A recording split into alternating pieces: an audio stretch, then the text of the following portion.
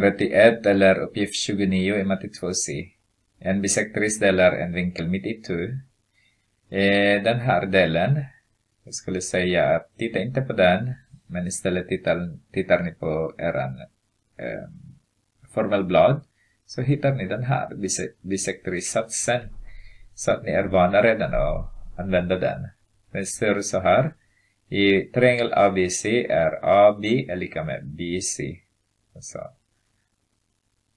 AB AB är lika med BC. AB är lika med BC, de är lika. Så det vill säga BD, BD är 10, 10 här. Och CD är 6. Så det betyder, de är lika långa.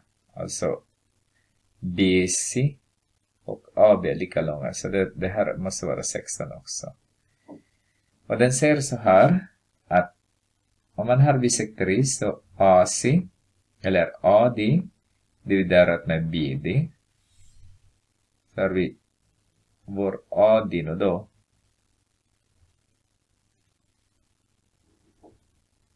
Så 6 dividerat med 10, ser den. Den här AD. AD från kanten. CD är det 6. Och sen DB igen. Dividerar med 10. Sen skriver AC. AC, den här till den här AC också för oss. Eller CA eller AC. Så här skriver vi AC här. Dividerar med BC, den andra sidan, den här. AB för oss. Då är det 16. Okej. Okay. Innan jag löser så skriver jag den här eh, är CD dividerad med DB eller BD om ni bokstavs, bokstavsordning. Och sen den här blir eh, AC dividerat med AB. Så. Som motsvarar i den här bisektorisatsen som ni har i er formelblad som jag klippte in här. Yeah. Okej, okay. då har vi multiplicerar vi båda led med eh, Beräkna den stora triangelns omkrets. Okej. Okay. Så vi måste ha AC först.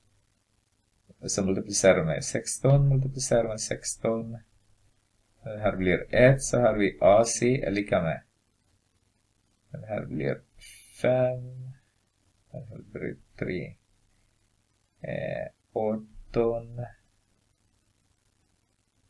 48 dividerat med 5. AC. Eller vad blir det? 48 dividerat med 5. 45 är 9 och sen 3, 9,6. Lika med AC, centimeter är det. Nu har vi omkretsen är lika med AC plus BC plus AB. Så har vi 6, nej, 9,6 är därmed 16 är därmed 16. Så har vi 32 41,6 centimeter.